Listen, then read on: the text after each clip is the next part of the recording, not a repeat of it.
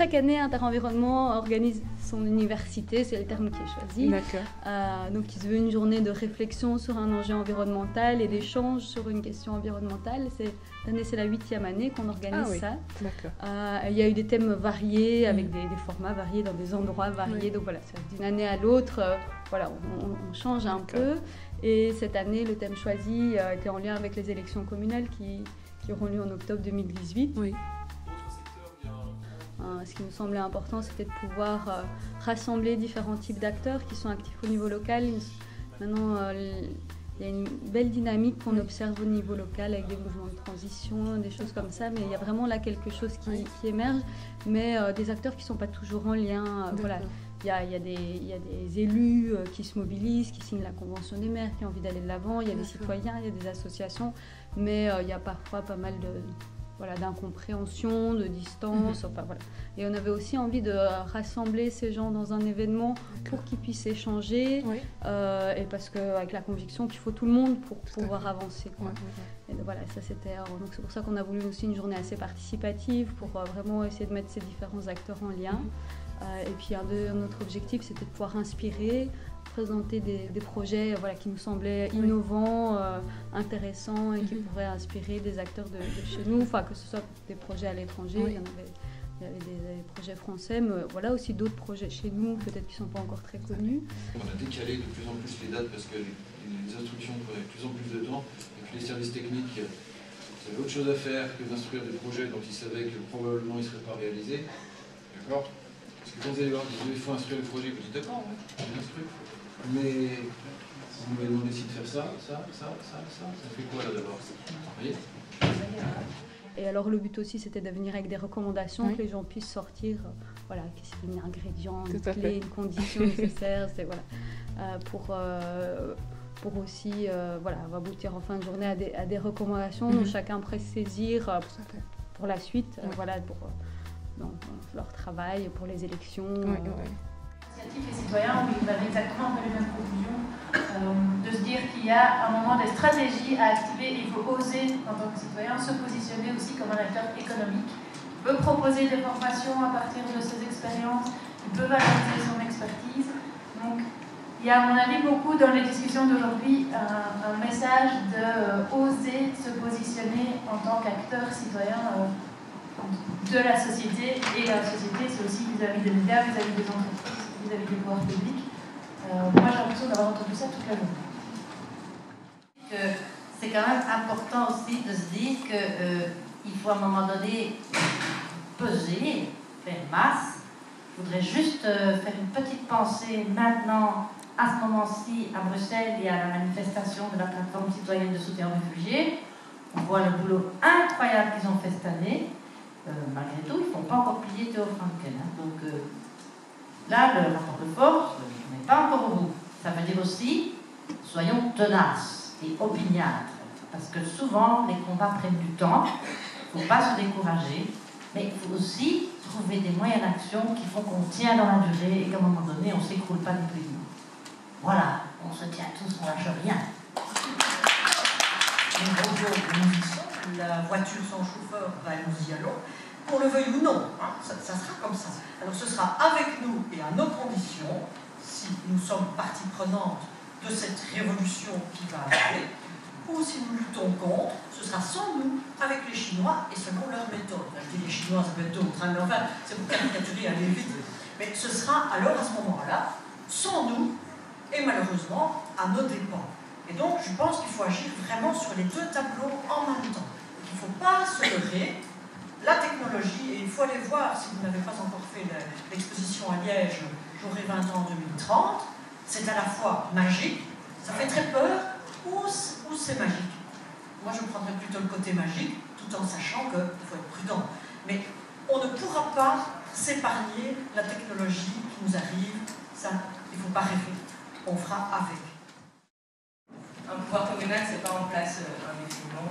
On a quand même des élections communales en octobre 2018, que euh, les différents partis sont en train de créer leur liste, euh, qu'on peut aussi créer des listes citoyennes et que euh, le meilleur moyen de faire changer les choses, c'est de, prendre ses responsabilités. C'est pour ça que je disais, on n'évoque même pas la possibilité de les faire bouger, euh, parce que ça, on se dit, on n'est pas à une première mandature, euh, c'est utopique de leur prendre leur majorité absolue, c'est beaucoup plus constructif peut-être d'arriver à les faire entendre notre message, et pas de façon diluée, et pas de façon euh, reportée dans le temps, parce qu'on l'a dit plusieurs fois aussi, reporter ces problématiques dans le temps, c'est les prendre en main trop tard. Donc je sais bien que ces élections, et je pensais bien que si c'était simplement euh, le fait de conscientiser les gens et de mettre des gens sur les listes. J'ai lu le sous-titre d'un bouquin qui s'appelle euh, En finir avec les alternatives dérisoires. Oui, il faut passer à autre chose avec les alternatives dérisoires, mais pour ça, il faut que le politique suive. Et il faut qu'ils arrêtent de penser commune par commune. Moi, ma commune, je veux des grands projets immobiliers, un centre commercial, parce que je veux beaucoup d'habitants, ça fait beaucoup d'électeurs, beaucoup de rentrées fiscales. Euh, je veux mon grand zoning dans chaque commune, avec les intercommunales où chacun se discute pour attirer les entreprises dans sa commune. Euh, il n'y a pas de supracommunalité. Nous, on a vécu ça euh, à Beaujolette. On a deuxième route d'accès au parc Pays où ce sont des bourgmestres, chacun veut leur petit bout de la lorgnette et on arrive à une décision qui est une somme d'intérêts particuliers, mais qui mène à une décision absurde qui dédouble des voiries existantes. Et donc voilà, on en arrive sans vision supracommunale et sans vision régionale au niveau des enjeux climatiques. On est vraiment à tournant. Si on ne prend pas les bonnes décisions maintenant, et on parle de collapsologie tout à l'heure, si on ne prend pas les bonnes décisions maintenant, on va vers quelque chose, ne maîtrise plus, euh, plus rien. Et pour quelle raison êtes-vous venu, euh, venu aujourd'hui à cet événement? Mais parce que nous sommes en, contact avec d'autres collectifs mhm. euh, qui luttent également contre euh, ce qu'on pourrait appeler, euh, ce qu'on appelait dans le temps les, GTI, hein, les grands travaux inutiles du temps de Jean-Claude Defossé, et qu'on appelle maintenant les GPI, les grands projets inutiles, inutiles, imposés parfois. Irresponsables par rapport aux, choix qui devraient être faits, je le disais, pour la transition climatique, énergétique. Et on essaye de faire un lien entre tous les groupes qui luttent contre ces projets. Alors certains groupes, ce sont des centres commerciaux, des projets immobiliers qui prennent euh, des hectares de terre. Euh, d'autres groupes, ce sont des contournements, des, ah routes, des zonings.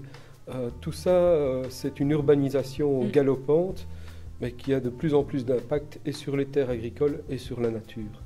Et donc voilà, on essaye un petit peu de, de s'unir pour pas pour lutter contre les gens, mais pour se faire entendre et pour euh, faire entendre aux hommes politiques que bon, euh, des choix doivent être faits qui intègrent des dimensions du territoire qui sont autres que la dimension économique. Mhm. Même si elle est importante, elle ne doit pas être la seule euh, qui détermine les choix. Mais je pense qu'ils ne sont pas sensibles à la critique. mon expérience, c'est que si on arrive en disant ça va pas, le grand verre, il faut prendre les choses autrement, euh, on a de meilleurs résultats en arrivant avec une solution positive, complète, euh, à laquelle ils peuvent adhérer. Et à, partir du moment où ils adhèrent, on avance. Parce que beaucoup de projets de transition, en et c'est l'adjoint maire de qui a attiré notre attention ce matin, dans le dispositif de budget participatif qu'ils ont mis en place, une fois que le projet est décidé, il doit se réaliser dans l'année qui suit. Je pense que l'accélération, le raccourcissement du, du délai de mise en œuvre des projets pourrait faire partie des recommandations.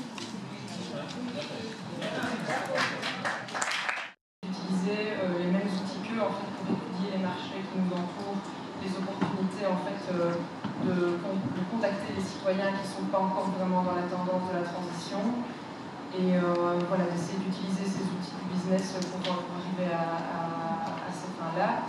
Et de bien comprendre aussi les, enjeux des personnes qui sont autour de nous, donc des stakeholders, comme on dit, euh, pour avoir euh, un discours qui permet de les toucher, parce qu'on ne peut pas avancer dans la transition sans, sans se mettre à leur place et sans leur vendre un discours qu'ils vont comprendre et qu'ils vont trouver intéressant pour leurs propres objectifs. Et Maïli, j'aimerais savoir qu'est-ce que nous, en tant que citoyens, on peut faire au quotidien pour essayer d'améliorer ça?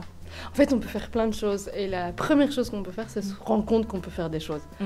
on a tendance à être vraiment trop passif. Mm. Enfin, moi, c'est une interprétation personnelle, mais de se dire ah, il faudrait que le gouvernement fasse, ou il faut que nos entreprises fassent. En fait, mm. il y a énormément de choses qu'on peut déjà faire à notre niveau, que ce soit faire attention à notre consommation au niveau des emballages, ah euh, faire attention à notre, façon de nous déplacer. Est-ce que c'est vraiment judicieux d'aller acheter une maison à la campagne où on va devoir prendre la voiture pour tout faire?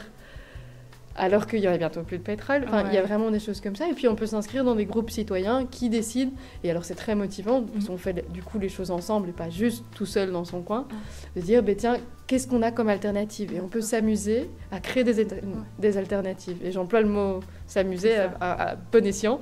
C'est vraiment dire, ah ben tiens, comment est-ce que je pourrais produire mon alimentation pour qu'elle ne vienne pas de, de l'autre bout de la planète? Comment est-ce que je peux euh, consommer autrement? Comment est-ce que je peux réapprendre à cultiver mes légumes, à euh, faire des produits d'entretien? Et donc, on peut vraiment faire ça ensemble. D'accord. Et moi, la, la question que je me pose, c'est, je me dis, d'accord, si je commence à faire ça, je serai peut-être la, seule à le faire. Et qu'est-ce que ça va apporter si moi, Parceline, je, je le fais toute seule? En fait, ça apporte beaucoup. C'est déjà, moi je disais, les actions, on peut déjà les faire ensemble. Alors il faut savoir qu'on est, on est des millions sur la Terre à faire ces mêmes choses. Euh, il y a une force d'exemple extraordinaire. Quand vous parlez aux gens de la paix pétrole, en général, ils en ont peur parce qu'ils disent oh, Je dois changer, ça va être horrible. En réalité, ça, si on crée si les, solutions viennent de nous, ça peut être très mm. motivant. Et donc leur montrer que de telles solutions est très motivant, ça peut vraiment faire un effet boule de neige. Euh, pour moi, bien sûr que l'État, euh, les gouvernements euh, et les entreprises ont aussi un rôle à jouer, mais, elles ne sont pas seules. Elles ne sont vraiment pas seules. Et nous, on a un véritable pouvoir en tant que, en tant que personne, citoyen, mhm. consommateur, de de faire les choses autrement. D'accord. Et de vraiment de servir d'exemple. Parce qu'un gouvernement, quand il vient, à, quand il est, il est élu, il doit gérer le quotidien. C'est vrai. Quand on gère le quotidien, on ne sait pas innover. Oui. Les gens qui peuvent innover, ce sont les citoyens. Mhm. Tout à fait. busy trying to save the world that we never stop and celebrate. And as a result, so many brilliant people are lost out of our movements through burnout. So looking after each other, celebrating often is really important. Keeping telling great stories, is a really important one as well because uh, we will win this by having the best stories. The stories that most touch people most deeply, uh, the things they care about, the places they love, the people they love. And we have to become the best, the most gifted storytellers. Increasingly, what I do in my work is all around storytelling and finding those brilliant stories from transition that really, really move.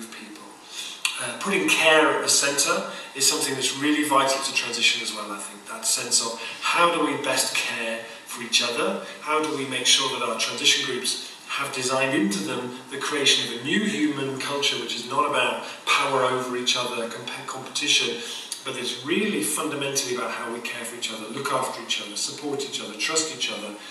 That's where the resilience and the sustainability of our transition groups come from. And the last one I would share is just to say, to, to remain creative and playful and open.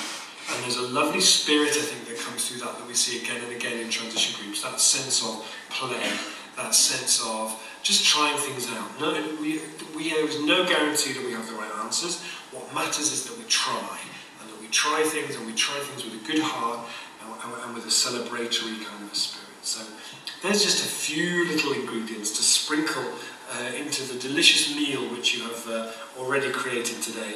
Uh, I hope you've had a brilliant day and, uh, and thanks so much for the invitation just to share a few thoughts with you.